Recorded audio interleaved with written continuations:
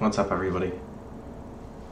My hair doesn't look great. What's up, everybody? It's your boy Meme here. Today, I'm just hanging out.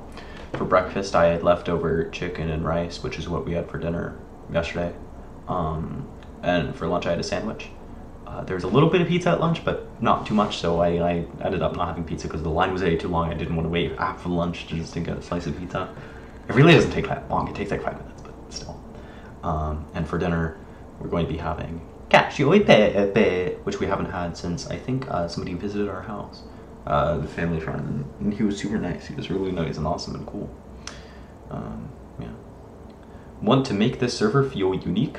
Unlock custom server banners with seven more boosts. That's an actual notification that, that Discord has right under a server that I made like six years ago on it.